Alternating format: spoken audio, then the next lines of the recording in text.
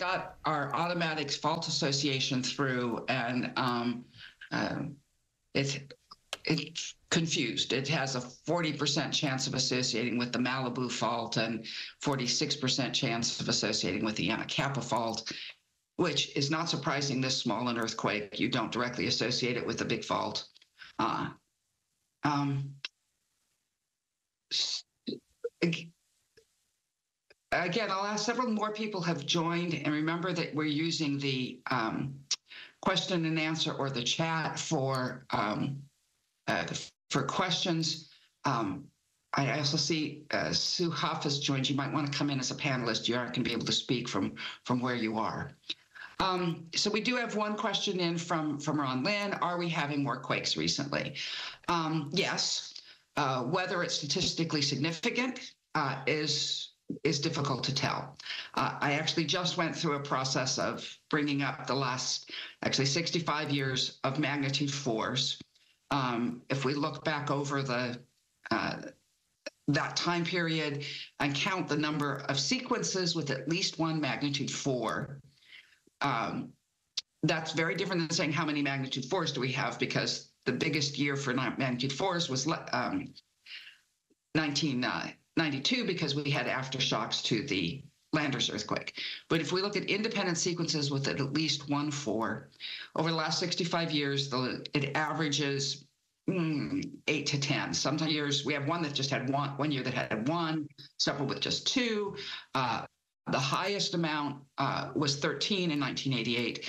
This is now the 14th um, uh, magnitude four plus sequence that we've had in Southern California in the uh, uh, so far this year. So yes, this is a more active year than we've had in the past.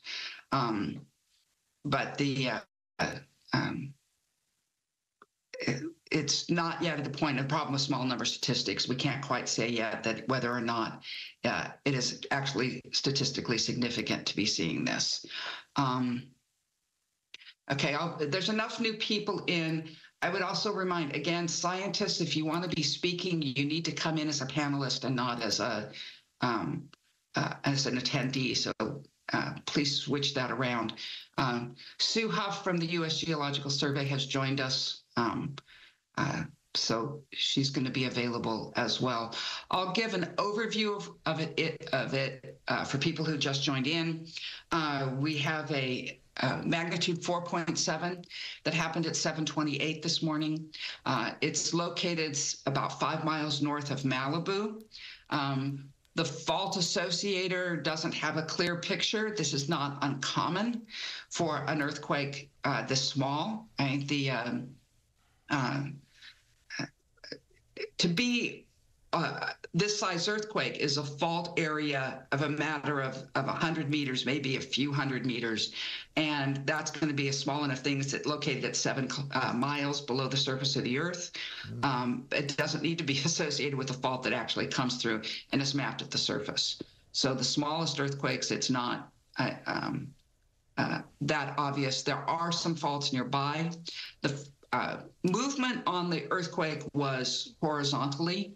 Um, we in here in Southern California, we can either get horizontal motion or upward motion on a dipward fault, uh, dipping fault. This is a, um, a, a, the sideways motion, what we call strike slip motion in this earthquake. Um, so that's an overview. Uh, Sue, if you have anything to add about what's here now, please go ahead. We should add that. Hi, thank you. Yeah, we don't obviously. Sue, you're muted. You muted yourself. You'd think I would know by now. Yeah, it, it's obviously early. We don't have a lot of, of information. It's curious. The best indication of shaking severity usually comes from citizen provided did you feel it accounts. There are notably few contributed to the system for an earthquake that clearly would have been felt by a lot of people. It suggests to me there may be some temporary issue with the system, but shaking was felt out to a distance of about 100 kilometers or 60 miles.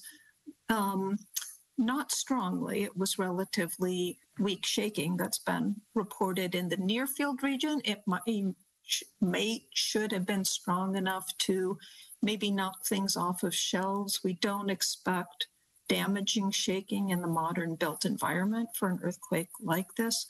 Um, but uh, clearly, there's a lot more more data to be collected.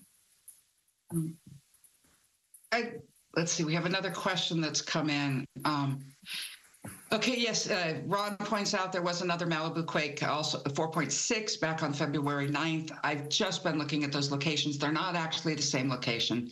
Uh, the, the February 9th earthquake was slightly south of Malibu offshore. This is a bit um, um, uh, north of uh, uh, of the of the coastline, and therefore a little bit north of the Malibu Fault, which pretty much runs along the coast at that point.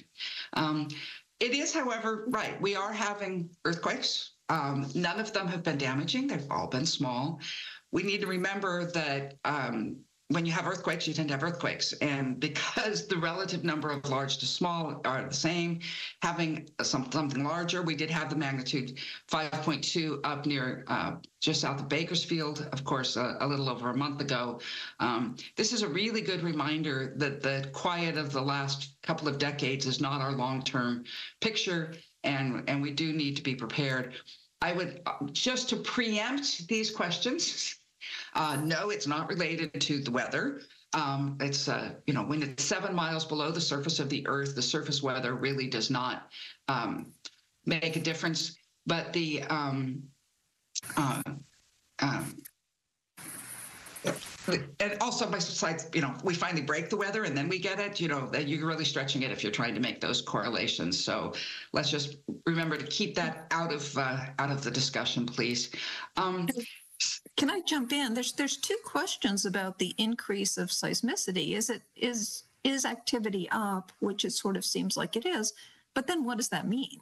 Is that ominous seismicity fluctuates, and seismologists have been trying to read the tea leaves for decades, looking for patterns that precede large earthquakes. And that's never really panned out. If if there is an increase, we can't, you know, really interpret that except for what, what Lucy said, that when you have a lot of earthquakes, you have a lot of earthquakes, as Charles Richter said, that earthquakes increase statistically the odds of more events. So, yeah, any felt event like this, they're great reminders to, to take all the steps that people um, probably know that, that are helpful. Thank you, Sue. And um, we have a hand up from Bob DeCastro. Um, Recording Bob, in progress. Okay, Bob, if you could please use the uh, the Q and A function to ask your question, we will answer it there. And um, Lucy and Sue, we have another question. This is from L Ortega. Uh, we've gone over this. Which fault did this strike on? It sounds like it was not associated with one that we're aware of yet. Well, no, no, not put. Don't let's not put it that way. It, there are a couple of mapped faults in the region. We have about equal probability of it being on one of them, and the probability that it's not on any mapped fault. And I think we need to remember that an earthquake this small, the, air, the area that gets involved, that moves in an earthquake, is what controls the magnitude. And when you, uh, and so a 4.7, it's a, it's a matter of uh, a few hundred meters at most. And uh, at seven miles below the surface of the Earth, it could be on lots of things. It could be on something that doesn't reach through to the surface. That's often the case with our smaller ones. But it is near um, um, in uh, uh, you know it is near some some known faults. The other thing is that you can't say it's um, uh, it, what what earthquakes it triggers uh, are not confined to the fault that it's actually located on. So uh, you know we have some um, uh, slight probability. It's about five percent of earthquakes in Southern California are followed by something bigger and the fact that it's not on a major fault or that it's not clearly associated with it uh, doesn't affect that number at all. Um, we do have a, a question, um, and Sue, this is probably a good one for you. Based on the magnitude and depth, how far will this likely be felt and what damage might be incurred? Yeah, I already addressed that a little bit. And as far as the fault goes, there are it's known that there are secondary faults that are in proximity to the faults we know about. So an earthquake this small, as Lucy said, it's you know it can be difficult to to figure out. The shaking that's been reported has been felt out to a distance of about 60 miles or 100 kilometers. Uh, most of that information comes from the Did You Feel It system, which that I've seen has remarkably few responses. It's Uh, just, I just updated it, Sue. There's over 5,000 uh, Okay, Okay, they're, they're great. There may have been some backlog because they were getting too much information. So, um, yeah, weak, relatively weak shaking would have been felt over most of the greater Los Angeles region, which, you know, has, has an awful lot of people. The most, the strongest reported shaking at this point is what we call intensity five. That's strong enough to knock things off of shelves in the immediate area. It's not generally strong enough to cause any uh, structural damage in a, in a modern built environment. I would say, you know, I I didn't feel it because I was in the middle of my exercise routine. Um, people felt it though farther away. Keep on going east, you get out to San Bernardino and and Riverside, and you're having some people feel it there. It is striking that it uh, some of the strongest shaking, not surprisingly, but it's right down the west side of Los Angeles, right? Because um, uh, you're going to get a bit of amplification if you've got deep sediments, which you do along the west side, and and those it's still pretty close to Malibu. Um, so it seems to have been uh, pretty widely felt, even up to intensity, definitely intensity three and some of intensity four, even as far south as as Irvine. So. Uh, To jump back in, I think the system may have been bogged down because so many responses were coming in so quickly. Yeah, there there is felt shaking out to about 200 kilometers and a little bit beyond. Weak shaking, as Lucy suggested, you'll feel it if you're sitting quietly. If you're moving around, you may not notice it. That's common. Uh, there are accounts of shaking at intensity six and above, which starts to, you know, maybe crack plaster. But this this is all preliminary information, and there, there's going to be a lot more data that's coming in that, that people will be looking at. Uh, Ron uh, asks, can elaborate more on how we've been feeling more quakes? We do have, we have had more magnitude fours in the Southern California area this year, more than average, right? The average being about eight magnitude four sequences. That's a sequences with at least one magnitude four, right? If you have a magnitude six, you trigger lots of magnitude fours. So we're not looking at that. So the separate sequences, long-term average of about eight. So far, we've had 14 in Southern California. Uh, the largest previous year was 13. Notice these numbers are small, however. So yes, we are feeling it, but it's not. Um, uh, uh, it's not yet statistically significant, right? Uh, and and that's that's a big issue. Seismologists look for patterns. Everybody looks for patterns. That's why we have myths of earthquake weather and animals, and all of these things are us trying to form a pattern in what is inherently a random distribution because we feel better when we know what the pattern is. But when we test the pattern, we can't make it for certain.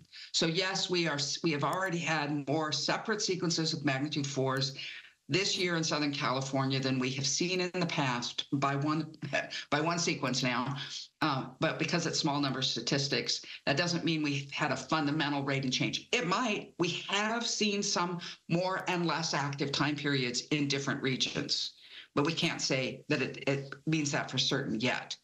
And um, Just to jump in, people have looked back at back past patterns before large earthquakes, and they've concluded that earthquake activity goes up in a region before a large earthquake. Some people have, have concluded that earthquake activity goes down before a large earthquake. You're sort of looking for patterns in the clouds when you when you know when an earthquake is, and you look back. You can usually often find some sort of pattern. And so you know, the question is, do they have any predictive? Do patterns have any predictive meaning.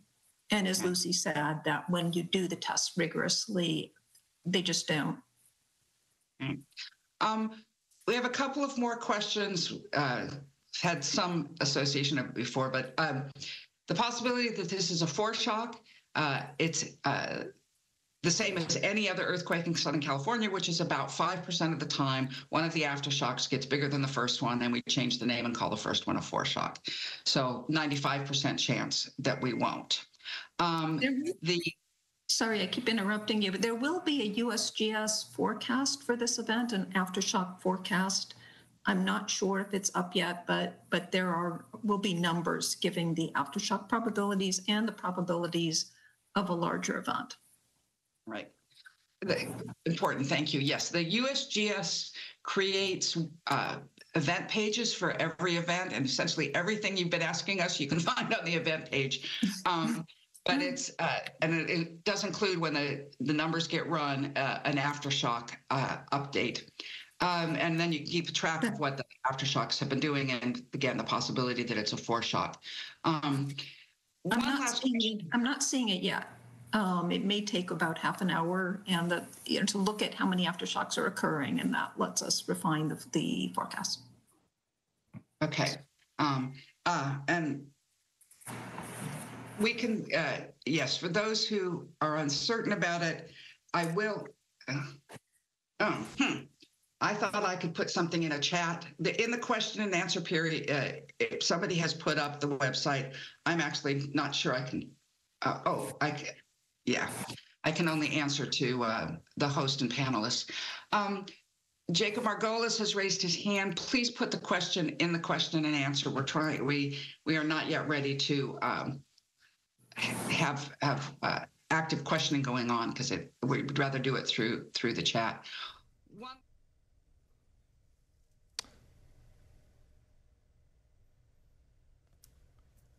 If you're just joining us, everybody, welcome to Good Day LA here at 8 o'clock. We are continuing our earthquake coverage. We did experience a 4.7 magnitude earthquake epicentered in Malibu, about five miles from Westlake Village.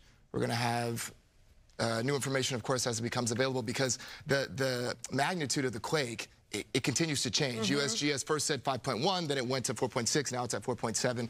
So we're going to be staying on top of that as we come into our 8 o'clock hour. And we just heard from seismologist Lucy Jones uh, answering a bunch of questions, you know, saying that this was, in fact, this has been a more active year when it comes to earthquakes than we've seen in years past. Whether that's statistically significant is still up in the air. Uh, but this earthquake happened at 728 this morning, five miles north of Malibu. The shaking could be felt for up to 60 miles. We've been getting video and uh, and pictures in. We've been getting responses on Twitter. I actually got a number of responses from people who really live all over the place.